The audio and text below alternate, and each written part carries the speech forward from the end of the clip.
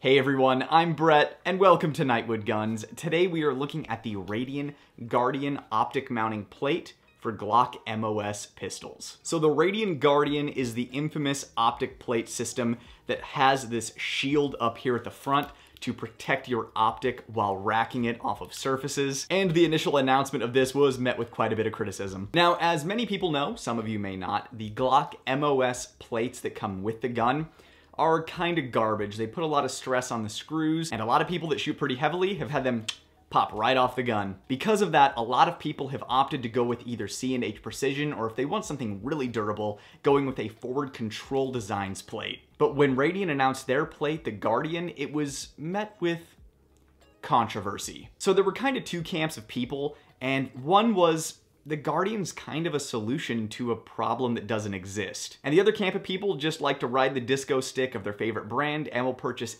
anything they put out. But what I haven't seen are a lot of actual objective analyses of The Guardian, so we're gonna take a look at this and see whether or not it's actually a quality product and whether or not it's worth your money. Now, full disclosure, Radian did send me this Guardian, but when I was speaking to them, they're aware that I'm an honest channel. They weren't even expecting me to make content for it. They just wanted feedback for the product and wanted to get it out there in the world, have it tested on a larger scale, that kind of stuff. But they said that I could make a video on it if I wanted to, fully aware that I'm an honest channel and encouraged me to be honest. So in this video, I'm gonna go over the good and the bad of this optic plate system. I think this might actually be my favorite Glock MOS plate regardless of some of the issues. You might actually be surprised by some of the pros when it comes to this optic plate, so be sure to stay tuned to see what I like about it. Maybe people were a little too quick to completely write this thing off, so, so we'll take a look at this thing, I'll tell you what my thoughts are. And also a huge thank you to True Shot Ammo for supporting the channel. The number one cost on this channel and the biggest struggle that I had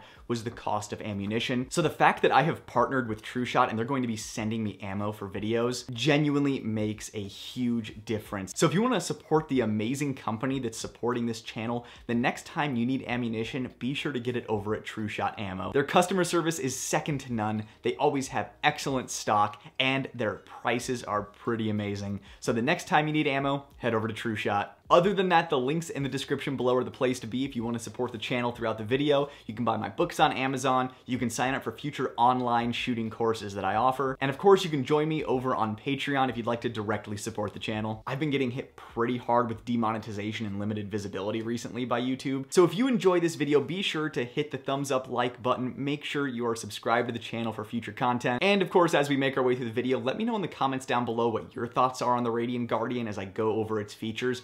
This something you would consider buying for your Glock MOS or are you going a different direction? All right, now let's hop into the Guardian. So the first thing that everybody notices is this guard, the reason for the name Guardian, I'm assuming, where you can rack this thing off of surfaces and not damage your optic.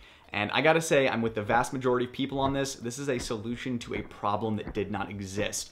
They are making this for a Trijicon RMR, the most durable optic on the planet, and they're making it for the EPS, which is the closed emitter from Holosun. Again, pretty durable sight. So this is essentially just an unnecessary piece unless you are an instructor who is racking this thing off of iron bars a hundred times a day, every single day. So even though it is pretty much useless, there are a few things I do like about the design of the actual guard part itself. Number one is when you're racking the slide off of your optic, it protects the front lens so you're not putting a sweaty palm print or a sweaty hand print on your lens. Is that an end of the world thing? Is it completely necessary? No, of course not. Just, it's a convenience thing. I also really like the texturing on the guard. If you need to rack your slide off your optic, it really bites into your hand. You get positive traction to rack it. And if you're racking it off of a surface, it will bite into the surface. So if you're in a hurry and you maybe just catch the corner of it, the optic won't slip off the surface. It actually grabs into it, bites into it, and you'll get a positive rack. And the third thing I like about it is just its aesthetics. I think it just looks really cool and I like cool looking guns, so can't go wrong, right? it's one of those things where the guard itself is kind of a take it or leave it uh, and there's kind of no downside to having it there, so I don't know, why not take it? Now into the actual meat and potatoes of why I like this optic plate. Number one is they got this thing to sit very low, almost as low as a direct mill. So if you're stuck with a Glock MOS slide and you don't want to get it direct mill or mess with that, you can get almost as good as a direct mill with this Guardian. And they're able to mount it that low while still having a very sturdy design because you have the two screws that go into the slide that mount the actual plate onto the slide, and then they have their actual stud lock system to keep the optic on the mount. So the way that works is you have two screws that come up through the bottom of the optic, and then they have a stud with threads in it that goes over the top of it and screws over the screw. That way they're getting a lot of thread engagement, significantly more thread engagement than an MOS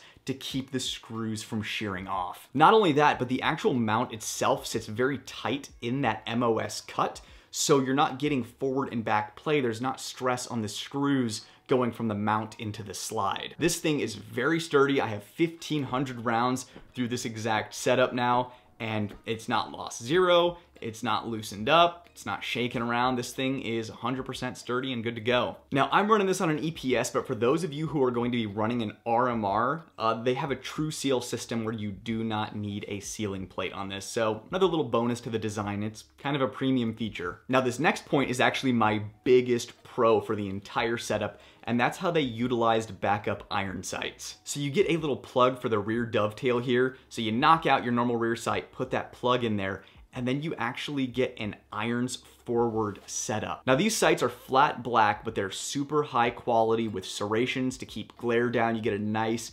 clear sight picture with your backup irons. And you get the rear iron forward without having to mill a dovetail into the slide. So if you have an MOS Glock, this is the way to get an irons forward setup. And for those of you that don't know, irons forward, just the rear sight is in front of the optic instead of in the rear behind the optic. But my favorite part about it is the co-witness is extremely low. It looks like it could be as much as a 1 6th lower co-witness, but it's probably closer to a 1 5th lower co-witness.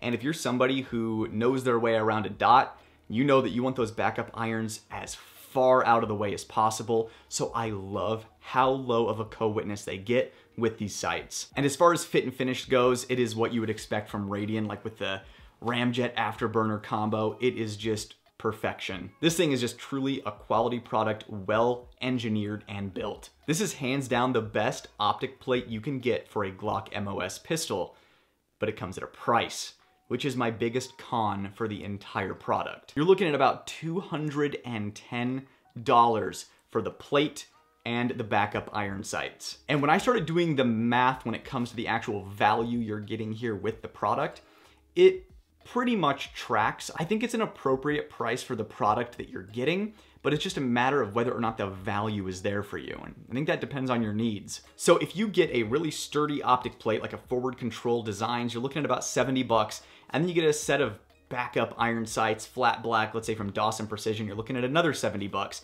So you're looking at about $140 for a forward control design optic plate with backup irons to have a very similar sturdy setup to this. So what that means is you're essentially spending 60 to 70 bucks on the actual optic guard part of this. That's the one feature that you're getting. Granted, it does sit a little lower, but this is obviously the big cost factor there. So if you're somebody who has a need for the actual guard part of this, I think it's a good value. Let's say you're constantly fighting agents from the Matrix and you run dry or have a malfunction in a high-speed car chase on a freeway and you're going 100 miles per hour in your car and you need to lean out the window and rack your gun off of an oncoming car that's also going 100 miles per hour, then I would say this product is a no-brainer for you. If you want to press check your gun like Keanu Reeves and John Wick without leaving a fingerprint on your optic, also a no-brainer. I would also say something to factor in with the price is going to be the convenience factor. One of my favorite sayings is money makes big problems turn into small inconveniences. And when you spend this much money on a product, there is a convenience factor right? You're getting built-in iron sights without having to send anything out, no lead times, no having to mill anything, refinish your slide. You just buy an MOS Glock and you get essentially a custom setup out of the box with the Radian Guardian. So if you want the best, here it is, but just remember, the best costs money. Overall, the product does get the Nightwood Gun stamp of approval. This thing works very well, just be aware of its price. Well, I hope you enjoyed the video, everyone. Don't forget to make your next ammunition purchase over at True Shot Ammo. If you want to support the channel for free, don't forget to leave a comment down below, hit the like button, and make sure you're subscribed. And don't forget to check out the links down below to more directly support the channel. It was great seeing you guys again. I'll see you in the next video. I'm Brett, and this was Nightwood Guns. Nightwood out.